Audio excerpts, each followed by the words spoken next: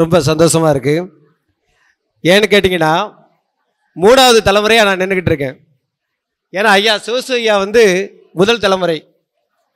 இவருடைய மாணவர் வந்து காவியா சண்முக சுந்தரம் அவருக்கே வயசு எழுபத்தஞ்சு அப்போ இவருக்கு எவ்வளோ வயசு இருக்குன்னு பார்த்துக்கிடுங்க.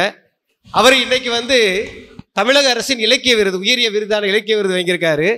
அவருக்கு பின்னால் நான் மூணாவது தலைமுறை. ஆக இந்த மூன்று தலைமுறையும் ஒன்றா அந்த மேடையில் இருக்கு. நீங்கள் உண்மையிலேயே ரொம்ப கொடுத்து வச்சால். அங்கங்கே பேசிக்கிட்டே இருக்காதீங்க. ஏன்னு கேட்டால் நிறைய விஷயங்கள் உங்களுக்கு தெரிய வேண்டியிருக்கு இந்த நேரத்தில். அதெல்லாம் தயவு செஞ்சு அக்கம் பக்கம் பேசுகிறத ஒரு பத்து நிமிஷம் குறைச்சிட்டு நாங்கள் பேசுகிறத கேளுங்க. ஏன்னா மூணாவது தலைமுறையாக நாங்கள் வந்து உட்காந்துருக்குறோம் எப்படி எங்களுடைய பார்வதி முத்தமிழ் அம்மாவுடைய பட்டிமன்றத்தில் அதாவது அந்த வழக்காடு மன்றத்தில் நம்மளுடைய குழந்தைகள்லாம் குச்சியில் இருந்து ஆரம்பித்து இன்னைக்கு இருக்கக்கூடிய ஃபோன் வரைக்கும் சொல்லிக்கிட்டு இருக்கும்போது நாம் கடந்து வந்த பாதைகளை எப்படி பார்த்தோமோ அதே மாதிரி இன்றைக்கு பாதைகளை பார்ப்பதற்காக தான் நான் வந்து நிற்கிறேன். உங்களுக்கு கீழடிலாம் ரொம்ப நல்லா தெரியும். கீழடி கீழடி அப்படின்னு சொன்னால் டிவியை திறந்தால் கீழடி வருது. ஆண்ட்ராய்டு போட திறந்தால் டிவி டிவி வருது பத்திரிக்கை பத்திரிக்கை போகிற திறந்தால் கீழடி வருது. ஊருக்கு போனாலும் கீழடியை பற்றி பேசுகிறோம் ஆனால் ஐயா சொன்ன மாதிரி நான் தாமிரவரணி ஆற்றங்கரையில் கிட்டத்தட்ட முப்பத்தஞ்சு வருஷமாக பயணம் பண்ணிக்கிட்டு இருக்கிறேன். என்னுடைய கூட சேர்ந்து ஒரு பெரிய பயணமே நடந்துக்கிட்டு இருக்கு. ஏன்னா தமிழகத்தினுடைய முதல் முதல் எச்சு அச்சுக்கலை தோன்றியதை எழுதின நெய்தல் ஆண்டோ இங்கே வந்திருக்கிறாங்க. அதே மாதிரி எங்களுக்கு புத்தகத்தை ஆக்கமும் ஊக்கமும் கொடுத்து எழுதி திருத்தி ஆக்கம் கொடுத்துக்கிட்டு இருக்கிற சிவசையா இங்கே இருக்கிறாங்க? அருங்காட்சியகம் அப்படின்னு சொல்லி ஒன்று இருக்குது அந்த அருங்காட்சியகத்தில் வந்து நிறைய பொருள்கள் இருக்குது அதையெல்லாம் பார்த்தால் முற்காலம் உங்களுக்கு தெரியும் அப்படின்னு சொல்லி இக்காலத்தில் சொல்லி கொண்டிருக்கிற இந்த காப்பாட்சியர் அம்மா அவன் சதங்குது இங்கே வந்திருக்கிறாங்க. அதே மாதிரி எங்கேயும் பேச்சு பேசுவதற்காக என்கிற மேரியம்மா எந்த இடத்துல போனாலும் பேசுவதற்கு ஒரு தகுதியான ஒரு நபர் இங்கே வந்திருக்கிறாங்க. இந்த மாதிரி இந்த மாதிரி தகுதியான நபர்களை எல்லாம் நீங்கள் பார்த்து அவர்களை அறிந்து நீங்கள் இன்னைக்கு யார் ஆகணும்னு சொல்லி முடிவு பண்ணிக்கலாம். இன்னைக்கு மண்குதிரை அப்படின்னு சொல்லி ஐயா வந்திருக்கிறாங்க. இவங்க வந்து நம்மளுடைய இந்து பத்திரிகையை திறந்தீங்கன்னா நடுப்பக்கத்தில் புத்தக வரி மதிப்புரையில் வந்து அவங்களுடைய அறப்பக்க கட்டுரையெல்லாம் பார்க்கலாம். சென்னையில் இருந்த ஒரு வாசி பல புத்தகங்களுடைய எழுத்தாளர்களை வாசித்தவர் இன்றைக்கு வந்து உங்கள் மத்தியில் வந்திருக்கிறார். சாதாரண விஷயம் கிடையாது. நம்மளுடைய தமிழக அரசு வந்து இந்த மாதிரி ஒரு நல்ல வேலைகளை வந்து எங்கள் காலத்தில் செய்யவே இல்லை. அதே மாதிரி தினமணியில் நிறைய கட்டுரைகளை எழுதி கொண்டிருக்கிறங்க. ஐயா வந்து சங்கரவங்களுடைய புத்தக கண்காட்சியில் மிக சிறப்பாக நடத்தி விட்டு உங்களை வந்து பார்க்க வந்திருக்கிறாங்க. இதெல்லாம் எதற்கு அப்படி என்று சொன்னால் உங்களை வந்து வழிநடத்துவதற்காகவும் உங்களுக்கு ஒரு நல்ல செயலை சொல்வதற்காக தான் வந்திருக்கிறாங்க. இது உண்மையிலே நான் வந்து இது நம்மளுடைய அரசுக்கு வந்து பெரிய நன்றியை தெரிவித்துக் கொள்கிறேன். ஏன்னு கேட்டிங்கன்னா இந்த மாதிரி வாய்ப்பு நாங்கள் படிக்கும்போது கிடைக்கவே இல்லை. உங்களுக்கு கிடைச்சிருக்கு.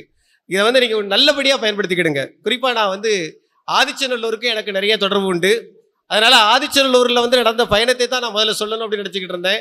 ஆனால் தொல்லியல் பயணம் அப்படிங்கிறத வந்து என்கிட்ட கொடுத்துருக்குறாங்க. இந்த தொல்லியல் எதற்கு? எதற்கு நமக்கு தொல்லியல் வேணும்? ஏன் தொல்லியலை நம்ம ஏன் படிக்கணும்? தொல்லியலுக்கு நமக்கு என்ன இருக்குது வேண்டே வேண்டாமே. தொல்லியல் ஒரு பாடமே வேண்டாமே. வரலாறு இருக்குது. வரலாறை படிச்சுட்டு போயிடலாம் இலக்கியங்கள் இருக்குது இலக்கணங்கள் இருக்குது படிச்சுட்டு போயிடலாம் ஏன் இந்த தொல்லியல் தேவை அப்படின்னு நினச்சா உண்மையிலே தொல்லியல் வந்து நமக்கு உண்மையிலே தேவை. ஏன் தேவை அப்படின்னு சொன்னால் நம்ம புறநானூறு அகநானூறு பாடல்களை எல்லாம் நாம் தமிழர்கள் எழுதிய பாடல்களை எல்லாம் இது கட்டுக்கதை. தமிழர்கள் சொல்லக்கூடிய கட்டுக்கதை என்ற கட்டுக்கதையை உடைத்து இன்றைக்கு தொல்லியல் வந்து உண்மையை நிறுவியிருக்கு ஒரே ஒரு உதாரணம் தான். ஆதிச்சநல்லூரில் கிடைத்த முதுகு மக்கள் தாலியில் ஒரு தாலியை பிரித்து பார்க்கும்போது அதில் வந்து ஒரு ஆணும் பெண்ணும் இருந்திருக்கிறாங்க. சுமார் மூவாயிரம் வருடங்களுக்கு முன்னால் அந்த இடத்துல வந்து ஆணையும் பெண்ணையும் வந்து அதில் பதிச்சிருக்கிறாங்க. அதை தான் கலசியும் கோவி அப்படிங்கிற அந்த பாடலில் வந்து நம்மளுடைய புறநானூறு பாடலை சொல்லியிருக்கு. இப்போ பார்த்தீங்களா ரெண்டாயிரத்தி ஐநூறு வருடங்களுக்கு முன்னால் புறநானூறு பாடல் சொன்னது இன்னைக்கு உண்மை அப்படின்னு சொன்னது எது அப்படின்னு சொன்னால் அதுதான் தொல்லியல். பாட்டி தாத்தா சொன்ன கதைகள் எல்லாம் உண்மை என்று நிரூபிச்சது தான் நமக்கு தொல்லியல். கிட்டத்தட்ட ஆயிரத்தி எண்ணூற்றி அஞ்சில் வந்து துருக்கி நாட்டில் தான் இந்த தொல்லியல் வந்து மெதுவாக வெளியே தெரிஞ்சது அப்படின்னு சொல்லுவாங்க. ஏன்னா துருக்கி நாட்டில் இருக்கக்கூடிய ஒருவர் வந்து நாடகம் போட்டிருக்கிறார். அந்த நாடகத்தை வந்து பிற்காலத்தில் வந்து உண்மை நிரூபிச்சிருக்கிறாங்க. இப்படி தான் உருவானது. அந்த காலத்திலே ஆயிரத்தி எண்ணூற்றி எழுபத்தி ஆறிலே டாக்டர் ஜாகோர் வந்து இந்தியாவிலேயே முதல் முதல்ல அகழ்வாய்வு எங்கே பண்ணார் அப்படின்னு சொன்னால் நம்ம ஆதிச்சநல்லூர் தான். நம்ம தாமிரபரணி ஆற்றங்கரையில் இருக்கக்கூடிய ஆதிச்சநல்லூரில் அவர் அகழ்வாய்வு பண்ணி இங்கே கிடைச்ச முதுமக்கள் தாடிகள் எல்லாத்தையுமே அவர் பெர்லி நகர் கொண்டு போயிட்டார். ஏன்னா நமக்கு இங்கே உள்ள பெருமைகள் தெரியலை. இந்த பெருமைகளை பூரா அவர் பெர்லி நகரில் கொண்டு போய் அங்கே இருக்கக்கூடிய அருங்காட்சியகத்தில் கொண்டு வைக்கிறாரு. அது கொண்டு போகும்போதே சொல்லுவாங்க. ஏன்னு கேட்டால் ஒரு இடத்துல தெம்போ கீழே விழுந்துதான். தெம்போ கீழே விழுந்த உடனே எல்லாருமே பயந்து ஓடிட்டாங்களாம். ஆகா இந்தியாவில் உள்ள பேய்டா அங்குள்ள எலும்புக்கூடு ரொம்ப பயங்காட்டுது அப்படின்னு சொல்லி போட்டுட்டு ஓடிட்டாங்களாம். அந்த அளவுக்குலாம் சொல்லக்கூடிய நம்மளுடைய முதுமக்கள் தாலிகள் வந்து இப்போ பெர்லின் நகரில் ஏதோ ஒரு அருங்காட்சியகத்தில் சாக்கு முட்டையில் கெட்டப்பட்டு இருக்கு. இது ஆயிரத்தி எண்ணூற்றி எழுபத்தி ஆறு. அதுக்கப்புறம் பார்த்தீங்கன்னா கொஞ்ச நாள் கழிச்சு திரும்ப ஆயிரத்தி தொள்ளாயிரத்தி ரெண்டில் ஒரு அகழ்வாய்வு நடந்திருக்கு. இந்த அகழ்வாய்வு ஏன் நடந்தது அப்படின்னு சொன்னால் ஆதிச்சல்லூர் வழியாக ரயில்வே ரோடு போடுறாங்க. அதாவது திருச்செந்தூருக்கு ரயில்வே ரோடு போடும்போது அங்கே நிறைய முதுமக்கள் தாலி கிடச்சிருக்கு அதில் தங்கங்கள்லாம் கிடச்சிருக்கு. உடனே பக்கத்தில் ஊரில் உள்ள மக்கள்லாம் என்ன பண்ணியிருக்கிறாங்க அப்படின்னு சொன்னால் இனிமே இங்கே நிறைய பொருள் நம்ம முன்னோர்கள் புதைச்சி வச்சுட்டு போயிருக்காங்க. அதை நம்ம எடுத்துடணும் அப்படின்னு சொல்லி அவங்கவங்க கடப்பாறையும் கம்பியும் இதை கொண்டுட்டு வந்துட்டாங்க. அதனால உடனே கவர்மெண்ட்டு விழிச்சு அதை நூற்றி பதினாலு ஏக்கரையும் ஒரு பாதுகாக்கப்பட்ட பகுதியாக அறிவித்து ஆதிச்சநல்லூரை வந்து ஒரு பாதுகாக்கப்பட்ட உள்ளே போய் நீங்கள் ஒரு பொருள் எடுத்தாலும் இன்னைக்கு அப்படிதான். ஒரு பொருள் எடுத்தால் கூட ஆறு மாதம் கடுங்காவல் தண்டனை அப்படின்னு சொல்லி ஒரு விதிப்பை விதித்து இன்னைக்கு பாதுகாத்தாங்க. அப்போ ஆயிரத்தி தொள்ளாயிரத்தி ரெண்டில் ஒரு பெரிய அகழ்வாய்வு நடந்தது. அதில் நூற்றுக்கணக்கான பொருள்கள் அதில் தான் தங்கம் கிடச்சிது இரும்பு கிடச்சிது வெண்கலம் கிடச்சிது. அந்த பொருள்களை எல்லாமே எடுத்துக்கொண்டு நம்ம சென்னையில் இருக்கக்கூடிய லைப்ரரியில் கொண்டு வச்சார் அலெக்சாண்டர் ரியா. நிறைய பட்டியலிட்டார். என்னென்ன பொருள்கள் கிடைச்சிது அப்படின்னு சொல்லி அதை புத்தகமாக வெளியிட்டாங்க.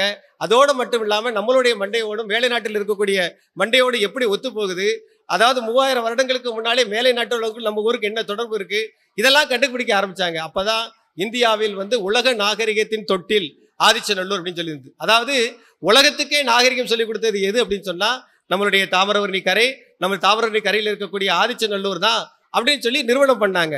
இதற்கு ஒரு சின்ன உதாரணம் என்ன அப்படின்னு சொன்னால் அந்த முதுமக்கள் தாலிக்குள்ளே இருக்கக்கூடிய ஒரு சின்ன இடுக்கி மாதிரி ஒரு கருவி. இன்றைக்கெல்லாம் பார்த்தீங்கன்னா நம்ம ஆற்றுல எங்கேயாவது உளுந்து இப்போ நம்ம நெல்லை அருங்காட்சியத்தில் போனால் கூட அந்த கருவியை பார்க்கலாம். தாமிரபரணி ஆற்றுக்குள்ளேயோ இல்லையோ நம்ம இப்போ வந்து சாக்கடையெல்லாம் கலக்கிறோம். அதே மாதிரி நம்ம வீட்டில் இருக்கக்கூடிய நீர்நிலைகளெல்லாம் நம்ம குளிக்கிறோம் கையை கொடுக்க கலவுறோம் ஆனால் அந்த காலத்தில் நீர்நிலையை பாதுகாத்திருக்கிறாங்க. அந்த நீர்நிலைக்குள்ள ஏதாவது பொருள் விழுந்தா அதை தூக்குவதற்காக அந்த இடுக்கி போட்ட பொருள் எல்லாம் பயன்படுத்திருக்காங்க. அதனால தான் பார்த்தீங்கன்னா அந்த நாகரிகத்தின் தொட்டில் எங்கேருந்து பிறந்தது அப்படின்னு சொன்னால் நாகரிகம்னா இப்போ தான் இருக்கணும் இப்போ வந்து நம்ம கொரோனா வந்த உடனே நம்ம கையெல்லாம் கழுவுறோம். நம்ம வீட்டுக்குள்ளே போகும்போது இப்படிலாம் இருக்கணும் சுத்தமாக இருக்கணும் அப்படிலாம் நினைக்கிறோம். ஆனால் அந்த காலத்திலே மூவாயிரம் வருஷத்துக்கு முன்னாலே நம்ம ஆதிச்சநல்லூர் பகுதியில் வாழ்ந்த மக்கள் வந்து இந்த மாதிரி விஷயங்கள்லாம் நிறைய செஞ்சுருக்காங்க. அதை விளக்கியது எதுனா தொல்லியல் தான். அந்த தொல்லியல் மூலமாக கிடைத்த அந்த பொருள்கள் தான் இன்றைக்கி பார்த்தீங்க அப்படின்னு சொன்னால் இந்த மாதிரி நாகரிகத்தம் உலகத்து நாகரிகத்துக்கு தொட்டிலா விளங்கி இது வந்து ஆதிச்சநல்லூர் தான் சொல்லியிருக்கிறாங்க. அதுக்கப்புறம் ஆயிரத்தி தொள்ளாயிரத்தி இருபதில் சிந்து சோவழி நாகரிகம். ஐயா சொன்ன மாதிரி மோகஞ்சர அரப்பா நாகரிகம் வந்து ஆய்வு பண்ணிக்கிட்டு இருக்கும்போது அங்கே ஒரு வங்கதேசத்து அறிஞர் சொல்கிறாரு இது என்னையா நாகரிகம்? சிந்து நாகரிகம். இந்த நாகரிகம் வந்து தாமிரவர்ணி கரை நாகரிகம். தாமிரவர்ணி கரையில் இருந்து வந்த தமிழர்களுடைய நாகரிகம் தான் இங்கே வரைக்கும் பரவி இருக்குன்னு சொல்லியிருக்காரு ஆயிரத்தி தொள்ளாயிரத்தி இருபதில். அப்போ தான் உலகமே அந்த ஆதிச்சல்லூரை வந்து வியந்து போற்றி பார்க்குது. ஆகா அந்த ஆதிச்சல்லூருக்குள்ளே ஏதோ இருக்குது அப்படின்னு சொல்லி எல்லோரும் ஆதிச்சல்லூருக்கு வந்து பார்க்க ஆரம்பித்தாங்க அப்போவே அருங்காட்சியகம் அமைக்கணும் அப்படின்னு சொல்லி ரொம்ப நாள் ஆசைப்பட்டாங்க. ஆனால் அதெல்லாம் நடக்கல. திரும்ப ரெண்டாயிரத்தி நாலில் ஒரு அகழ்வாய்வு நடக்குது. அதில் கிடைச்ச பொருள்களை எல்லாம் இன்றைக்கு இருக்கக்கூடிய தலைமைச் செயலகம் அப்படின்னு சொல்லக்கூடிய பக்கத்தில் இருக்கக்கூடிய போர்ட்டில் கொண்டு வைக்கிறார். டாக்டர் சத்யமூர்த்தி அப்படிங்கிற இந்திய தொழில்துறையினர் தான் அதை வந்து உருவாக்குறாங்க. அவங்க கொண்டு வைக்கிறாங்க. அதனுடைய அகழ்வாய்வு அறிக்கை வந்து பதினேழு வருடம் கழிச்சு வருது. அதில் பார்த்தீங்கன்னா ரொம்ப ஆச்சரியமான விஷயம்லாம் கிடைச்சிது. அதாவது நம்ம வந்து ஒரு ஒரு உடலை வந்து வெளியே போட்டால் தப்புன்னு நினைக்கிறோம். ஆனால் சிசுகள் அந்த சிசுகளுக்கு கூட முதுமக்கள் தாலியில் அடைச்சி வச்சிருக்காங்க. எவ்வளோ பெரிய விஷயம் பார்த்தீங்களா அதே மாதிரி நிறைய உள்ள அடைக்கப்பட்ட பொருட்கள் வந்து கப்பல் நோயால் நிறைய பேர் இறந்தவங்க. இப்போ நம்ம சொன்ன மாதிரி நம்ம கப்பலால் வெளிநாட்டிலிருந்து வந்தவங்க அதனால் ஏற்பட்ட நோயால் நெற்றியில் வந்து ஒரு ஓட்டை ஏற்பட்டு அந்த ஓட்டையால் இறந்துருக்காங்கன்னு கண்டுபிடிச்சாங்க. அதை கூட நம்ம யூடியூப்பில் நிறைய என்ன பண்ணாங்கன்னா நெற்றிக்கண் மனிதன் வாழ்ந்தானா ஆதிச்சநல்லூரில் அப்படின்னு சொல்லி நிறைய யூடியூப்பில் நிறையலாம் போட்டு பண்ணிக்கிட்டு இருந்தாங்க. அதை வந்து உண்மை என்று நிரூபிச்சது தொல்லியல். இது வந்து இல்லை. தாம நம்ம வந்து தாமிரபரணி ஆற்றங்கரையில் இருக்கக்கூடிய கொற்கை மாநகருக்கு உலகத்தின் பல்வேறு பகுதியிலிருந்து படகில் வந்தவர்கள் வந்து நோயால் இறக்கும் போது தான் இங்கே இந்த மாதிரி பிரச்சனை ஏற்பட்டதுன்னு சொல்கிறாங்க அதுக்கு பிறகு பார்த்தீங்கன்னா ரெண்டாயிரத்தி ஐநூறு வருடங்களுக்கு முன்னால் கொற்கை துறைமுகத்தில் இருந்து எந்தெந்த ஊருக்கெல்லாம் ஏற்றுமதி செஞ்சதோ அதை வந்து கொற்கையில் நம்ம நடைபெற்ற அந்த தொல்லியல் துறை அகழ்வாய்வு மூலமாக நாங்கள் கண்டுபிடிச்சோம். அதை கண்டுபிடிச்சு அதனுடைய பொருள்களை எல்லாமே இப்போ இப்போ பார்த்தீங்க அப்படின்னு சொன்னால் தமிழகத்தில் வந்து தமிழக தொல்லியல் துறை கீழடி வந்து மிக ஃபேமஸாக ஆகிட்டு இருக்கும்போது நம்ம ஆதிச்சநல்லூர் பகுதியில் வந்து நிறையா வாய்ப்புகள் இருக்குது இங்கெல்லாம் நம்ம அகழ்வாய்வு பண்ணணும் அப்படின்னு சொல்லும்போது நம்ம மத்திய மாநில அரசுகள் வந்து நிறைய மெனக்கெட்டுது. அதனால தான் பார்த்தீங்கன்னா கொற்கை சிவகலை அப்புறம் ஆதிச்சநல்லூர் இந்த பகுதியெல்லாம் நிறைய அகழ்வாய்வு பண்ணாங்க. நிறைய முதுமக்கள் தாரிகள் கிடைச்சிது. ஆதிச்சநல்லூர்ல பார்த்தீங்கன்னா இப்பவும் தங்கம் கிடைச்சிது. இப்பவும் பார்த்தீங்கன்னா வெண்கல பொருள் கிடைச்சிது. இதனால் நமக்கு கிடைச்சது என்னென்னா இந்த இந்தியாவிலே முதல் முதல் சைட் மியூசியம் அப்படின்னு சொல்லக்கூடியது வந்து இன்னைக்கு ஆதிச்சல்லூரில் அமைஞ்சிருக்கு. உங்களை எத்தனை பேருக்கு அது தெரியுன்றது தெரியல. நம்ம வந்து மாநில அரசு அமைக்கக்கூடிய நம்ம ரெட்டியார்பட்டியில் மலையில் இப்போ அமைக்கக்கூடிய அந்த அருங்காட்சியத்தை பற்றியே பேசிக்கிட்டு இருக்கிறோம். ஐயா கூட அதை பற்றி சொன்னாங்க. நம்மளுடைய ஆட்சித்தலைவர் வந்து நிறைய ஏற்பாடெல்லாம் அதுக்காக பண்ணிக்கிட்டு இருக்காங்க. விரைவில் அதை திறக்க போகிறாங்க ஆனால் அதையும் தாண்டிய ஒரு விஷயம் சைட் மியூசியம் இந்தியாவிலே முதல் முதல்ல ஆதிச்சநல்லூரில் திறக்கப்பட்டிருக்கு. இன்றைக்கி நீங்கள் ஆதிச்சநல்லூருக்கு போனீங்க அப்படின்னா காலையில் எட்டு மணியிலேருந்து சாயங்காலம் அஞ்சு மணி வரைக்கும் நீங்கள் அதை பார்க்கலாம் அதாவது எல்லா இடத்துலையுமே அருங்காட்சியகம் எப்படி இருக்கும் அப்படின்னு சொன்னால் இருக்க பொருள்களை அப்படியே பொறுக்கி கொண்டு வந்து இன்னொரு இடத்துல வச்சிருப்பாங்க. இது ஆதிச்சல்லூரில் எடுக்கப்பட்ட பொருள். ஆனா இங்க இருக்கு அப்படின்னு சொல்லுவாங்க. ஆனா நமது ஆதிச்சல்லூருக்கு கிடைச்ச பெரிய விசேஷம் என்ன அப்படின்னா அந்த உள்ளது உள்ளபடியே அந்த என்னது நம்ம சொல்றோமோ அது எப்படி இருக்குதோ இருக்கிற இடத்துல அப்படியே வச்சிருக்காங்க. ஒரு இடத்துல ஒரு முழுமையான ஒரு முதுமக்கள் அதாவது ஒரு முழுமையான எலும்புக்கூடு ஒரு மனிதனுடைய எலும்புக்கூடு அந்த மனிதனுடைய வயசு இப்போ ரெண்டாயிரத்தி தொள்ளாயிரம் வயசு அப்படின்னு சொல்லி கண்டுபிடிச்சிருக்காங்க. அந்த மனிதனை வந்து அப்படியே கிடத்தி வச்சிருக்கிறாங்க. அவனுக்கு வயசு வந்து இருபத்தாறு வயசாம் இருபத்தாறு வயசுல வந்து ரெண்டாயிரத்தி தொள்ளாயிரம் வருஷத்துக்கு முன்னால இறந்த மனிதனுடைய அந்த எலும்புக்கூடு அப்படியே இன்னைக்கும் போனா நீங்க பார்க்கலாம். அது ஆதிச்சல்லூர்ல இருக்கு. அதே மாதிரி பாத்தீங்கன்னா அதை தாண்டி வந்தீங்கன்னா அங்க இருக்கக்கூடிய பரியல்ல பாத்தீங்கன்னா இரண்டாம் நிலை பரியல் அப்படின்னு சொல்லி வச்சிருக்கிறாங்க. இது எப்படி அப்படின்னு சொன்னா அந்த மனிதன் வந்து இறந்து போன பிறகு அவனுடைய உடலை வந்து கழுகுக்கோ எதுக்கோ போட்டுட்டு கிடைக்கக்கூடிய எலும்புக்கூடுகளை எல்லாம் பறக்கி அதை வந்து முதுமக்கள் தாடிகளை போட்டு அதை புதைச்சிருக்கிறாங்க. அந்த எலும்புக்கூடையும் எடுத்து அதனுடைய வருஷத்தையும் பார்த்துருக்குறாங்க. அதோடு மட்டும் இல்லாமல் ஆதிச்சநல்லூரில் கிடைச்ச ஒரு வரைபடம். என்னுடைய புத்தகத்தெல்லாம் பார்த்தீங்கன்னா நான் ஒரு மூன்று புத்தகம் ஆதிச்சநல்லூரை பற்றி எழுதியிருக்கேன். அந்த மூன்று புத்தகத்துலையும் பார்த்தீங்கன்னா அந்த படத்தை நம்ம போட்டிருப்போம். அதில் பார்த்தீங்க என்னென்னா ஒரு பெண்ணுடைய உருவம் இருக்கும். அதே மாதிரி பார்த்தீங்கன்னா ஒரு கதிர் நெல் கதிரோட உருவம் இருக்கும். ஒரு மானோட உருவம் இருக்கும் ஒரு முதலையோட உருவம் இருக்கும். அதாவது மூவாயிரத்தி ஐநூறு வருஷத்துக்கு முன்னாலே இது எல்லாம் நம் பகுதியில் இருந்தது அப்படிங்கிறதற்கு வந்து அந்த தொல்லியல் மூலம் கிடைத்த அந்த புதுமகள் தாளியினுடைய படம் வந்து நமக்கு வந்து காட்டுது. உண்மையிலேயே சொல்லப்போனால் ஆதிச்சநல்லூரில் அலெக்சாண்டர் ரியா வந்து அகழ்வாய்வு பண்ண அந்த காலம் வந்து பொற்காலம். அதனால தான் அவர் என்ன பண்ணியிருக்காரு அப்படின்னு சொன்னால் ஒரு முப்பத்தேழு இடத்த தாமிரபரணி ஆற்றங்கரையில் ஆங்காங்கே அடையாளம் இட்டுட்டு போயிருக்காரு. குறிப்பாக அந்த பக்கமே எடுத்துக்கிட்டிங்கன்னா அங்கேருந்து பாலமடை பாலமடை அப்படிங்கிற இடத்துலேருந்து அப்படியே போன சுகந்தலை வரைக்கும் இருக்குது முப்பத்தி ஏழு இடத்துலையும் தாமிரபரணி ஆற்றங்கரையில். இந்த நூற்றி இருபத்தஞ்சு ஏக்கரில் இவ்வளோ பெரிய ஒரு மக்கள் புதைகுழி இருக்குது இவங்க வாழ்ந்த ஆட்கள் எப்படி நாகரிகமாக இருந்திருப்பாங்க அப்படின்னு இப்போ அந்த வாழ்ந்த இடங்களை தேடுவது வந்து நடந்துகிட்டு இருக்கு. திருக்கொள்ளூர் ஆகிய இடத்துங்களையும் அப்புறம் கொர்க்க கொர்க்கை பக்கத்தில் இருக்கக்கூடிய இடங்களிலோ அதே மாதிரி பார்த்தீங்கன்னா அகரம் அப்படிங்கக்கூடிய இடத்துலையும் ஆதிச்சநல்லூர் பகுதியிலையும் கருங்குளம் பகுதியிலையும் கொங்கராக்குறிச்சி பகுதியிலையும் இப்போ மக்கள் எப்படி வாழ்ந்திருப்பாங்க அவங்களுடைய நாகரிகம் எப்படி இருக்கும்? ஏன்னா அவன் ஒரு உடம்ப வந்து புதைப்பதற்கு இவ்வளவு மெனக்கெட்டு இருக்கிறான் இன்னும் பார்த்தீங்கன்னா இரண்டு வண்ண கலர் அப்படின்னு சொல்லுவாங்க. கருப்பு சிவப்பு பாடை ஓடுகள் எங்கே இருந்தாலும் அது ஆதிச்சல்லூருடைய பாடை ஓடு அப்படின்னு சொல்லுவோம். அதற்கு காரணமான அந்த நாகரிகமான மனிதர்கள் இங்கே வாழ்ந்து இதையெல்லாம் புதைச்சிருக்கிறானே அவன் வாழ்ந்த இடம் எப்படி இருக்கும் அப்படிங்கிறத தேடிக்கிட்டு இருக்கிறாங்க. உண்மையிலே இன்றைக்கு வந்து தொல்லியல் துறை வந்து மிக விசேஷமான வேலைகளை எல்லாம் மிக பிரம்மாண்டமாக செஞ்சுக்கிட்டு இருக்கு. நீங்கள் எல்லாருமே கண்டிப்பாக தமிழருடைய பண்பாடு தெரிஞ்சிருக்கணும். நீங்கள் சொன்ன மாதிரி நம்ம பட்டி நம்ம இப்போ விவாத மேடையில் சொன்ன மாதிரி நீங்கள் ஃபோனில் பார்த்தாலும் கூட ஆதிச்சல்லூருடைய விஷயங்களெல்லாம் நிறைய பார்க்கலாம். ஆனால் இருந்தாலும் ஒரு நாள் நீங்கள் ஆதிச்சல்லூருக்கு போங்க அந்த சைட் மியூசியத்தை பாருங்கள் அதில் நிறைய விஷயங்களை எழுதி வச்சுருக்கிறாங்க. அதெல்லாம் பார்க்கணும் அப்படின்னு சொல்லி உங்களை அன்போடு கேட்டுக்கொள்கிறேன். சாயங்கால நேரம். இந்த நேரம் வந்து நம்ம என்ன தான் பேசினாலும் வீட்டுக்கு போகணும் அப்படிங்கிற எண்ணம் தான் எல்லாருக்கும் இருக்கும். அந்த எண்ணம் உங்களோட எல்லோருடைய முகத்திலையும் தெரிகிறது. அதனால் இதுவரைக்கும் கிடைச்ச இந்த வாய்ப்பை பயன்படுத்தியதோடு மட்டும் இல்லாமல் இந்த மாதிரி நிறைய விஷயங்களுக்கு நீங்கள் கல்லூரி மாணவர்கள்லாம் போகணும். ஏன்னா நாங்கள் கல்லூரிக்கெல்லாம் பேசணும்னா ரொம்ப ஆர்வமாக போவோம்.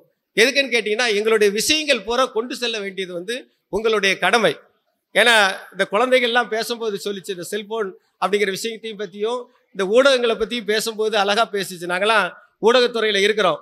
இன்றைக்கி இந்த ஊடகங்களில் வந்து ஒரு காலத்தில் நான் எழுதின கட்டுரையை வந்து பதினேழு லட்சம் பேர்லாம் படித்தாங்க நான் எழுதின புத்தகத்தை பத்தாயிரம் பேர்லாம் வா- வாங்கி படித்தாங்க ஆனால் இன்றைக்கி வந்து அந்த புத்தகம் படிப்பது வந்து ரொம்ப குறைந்து கொண்டு இருக்கிறது ஆனாலும் நீங்கள் வந்து ஊடகம் மூலமாக படிக்கிறது வந்து வளர்ந்துக்கிட்டே இருக்குது இதுவும் ஒரு ஆரோக்கியம் தான். ஏன்னு கேட்டிங்கன்னா எங்களுக்கு தெரியாத விஷயங்கள்லாம் உங்களுக்கு நிறைய விஷயங்கள் தெரியுது. ஆனால் ஒரே ஒரு விஷயம் மட்டும் பக்கத்தில் இருக்க அப்பா அப்பா பேசுறது இப்போ உங்களுக்கு தெரியல. ஏன்னா எல்லாருமே செல்போனில் உலக நாடுகளை பற்றி பேசிக்கிட்டு இருக்கீங்க. ஆனால் பக்கத்து அறையில் இருக்கக்கூடிய அப்பாவை பற்றியும் தெரியவில்லை. அங்கே இருக்கக்கூடிய தம்பி தங்கைகளை பற்றி தெரியலை எதிர்த்த வீட்டில் யார் இருக்கான்னு கூட தெரியல. ஆனால் உலகம் பெரியது. அதை ஒன்றாக்கிட்டீங்க ஆனால் இருக்கும் உறவை இழந்துட்டீங்க. இதை வந்து மறப்பதற்கும் யாருமே மறக்க முடியாது. இருந்தாலும் காலம் இதுக்கு தான் பதில் சொல்லணும் நாங்கள் இதுக்கு எதுவுமே பதில் சொல்ல முடியாது என்று கூறி இந்த நல்ல வாய்ப்பை கொடுத்த மாவட்ட நிர்வாகத்துக்கும் இந்த இயக்குனர் அவர்களுக்கும் இந்த நிகழ்ச்சியை நடத்தி கொண்டிருக்கும் அனைவருக்கும் நன்றி கூறி விடைபெற்றுக் கொள்கிறேன். நன்றி வணக்கம்.